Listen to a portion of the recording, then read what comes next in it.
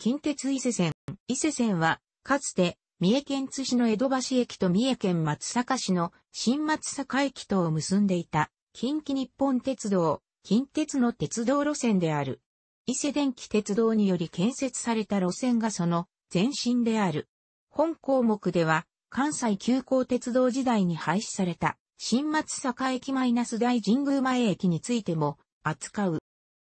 伊勢電気鉄道は、現在の近鉄のルーツとなった鉄道会社の一つであり、ローカル私鉄に過ぎなかった伊勢鉄道、初代、現在のものとは異なるを母体とし、新規延長と養老電気鉄道の買収により、大垣駅から大神宮前駅に至る路線を完成させた。しかしながら、名古屋への延長を後手に回したことにより、乗客が伸び悩み、経営基盤が脆弱だったこともあって、1936年にライバルであった三宮急行電鉄以下三級に合併され、伊勢電の保有していた路線のうち、桑名駅マイナス大神宮前駅間が三級の名古屋、伊勢本線取った。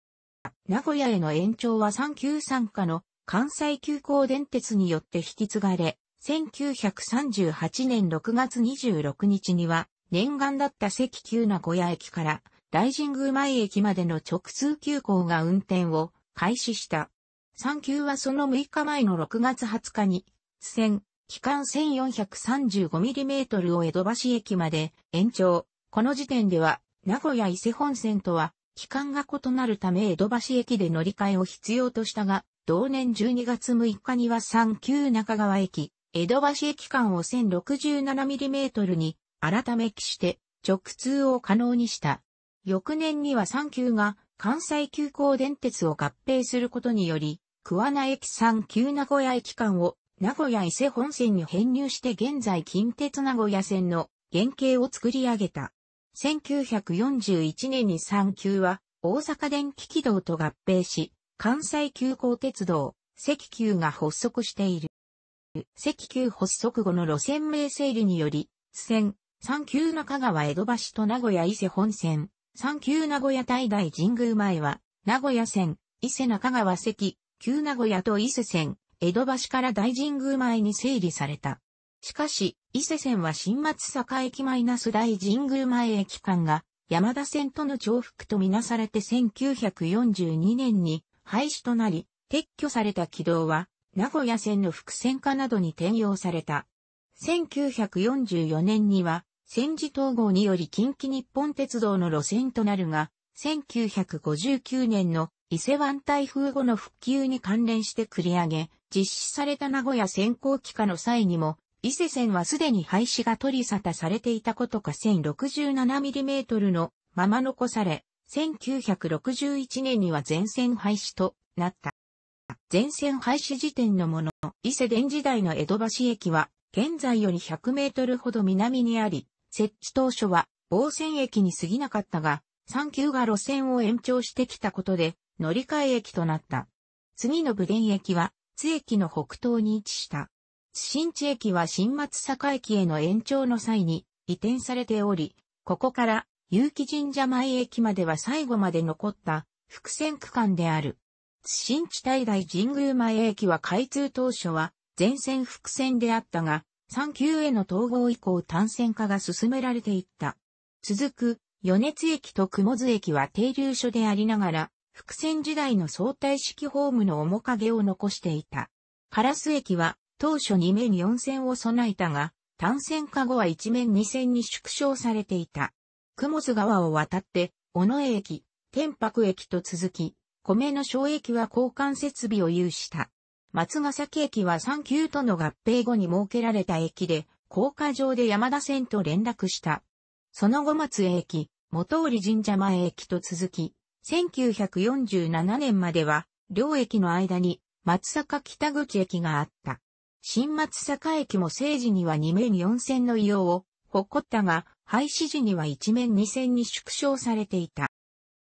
新松坂駅の次の花岡駅では、松坂電気鉄道、三重交通を経て、三重電気鉄道松坂線と連絡、伊勢電側の駅は、松坂線を乗り越えたすぐ先にあった。続く、乗り数駅では、商船三宮線、現在の JR 東海規制本線と連絡、ここでも伊勢電が商船の線路をオーバークロスしていた。上串田駅、小毛、大駅、南西宮駅、南明西駅はそれぞれ山田線の串田駅、小毛、大駅、西宮駅、明星駅の南西側に位置した。伊勢有田駅と川端駅の間で、再び三宮線、現在の JR 東海三宮線をまたぎ、やがて宮川をトラス橋で渡った。終点大神宮前駅までの 2km 弱の区間には、宮川堤駅、山田西口駅、時和町駅の3つの駅がひしめき、この3社の間には、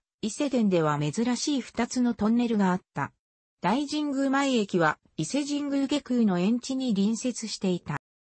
路線が大神宮前駅まで達すると、桑名駅マイナス大神宮前駅間を途中4駅のみ、停車し85分で走破する特急、初日、上地が、新造された、モハニ231型により運転を開始。伊勢電が3級に吸収された後には、関急名古屋駅マイナス大神宮前駅間を特急が110分で走破した。戦後は、線内運転のみとなった。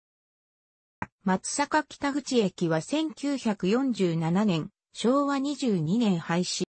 当初は近鉄バスが1963年10月15日からは、三重交通がほぼ全ルートに変わって、バスを走らせた新江戸橋新駅前小木浦天白から新松坂、松坂駅前引く早馬瀬口瀬古伊勢市駅前、宇治山田駅前の2系統。新江戸橋から新松坂の系統は途中で新駅前小木浦天白松坂駅前間の運行となり、新松坂は経由しなくなった。新江戸橋は別路線の停留所として現存。新松坂はバス停としても廃止。さらに2001年4月に天白で系統分割され、2005年10月に天白以南の系統は廃止された。2006年12月20日からは松坂市空港アクセスコミュニティバス、三雲松線として、天白に近い三雲地域振興局 JR、松坂駅近鉄松坂駅松坂港、空港アクセス間、2010年6月1日より、JR 松坂駅松坂港、空港アクセス間の系統分離を運行している。また、松坂駅前宇治山田駅前の系統は、松坂駅前引く早馬瀬口間が2008年3月31日、限りで廃止され、代わりのバスも運行されていない。ただし、近鉄山田線、JR 規制本線が徒歩圏内にあるため、公共交通がなくなったわけではない。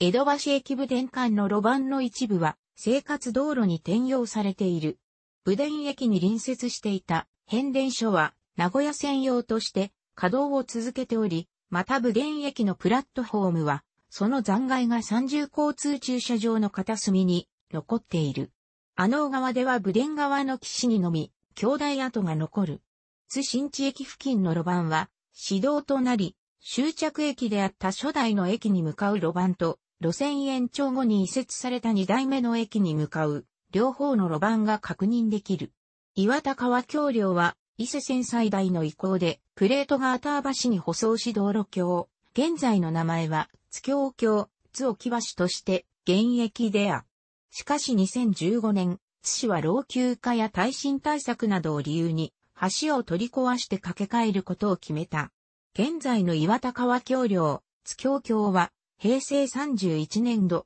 2019年度に撤去される予定である。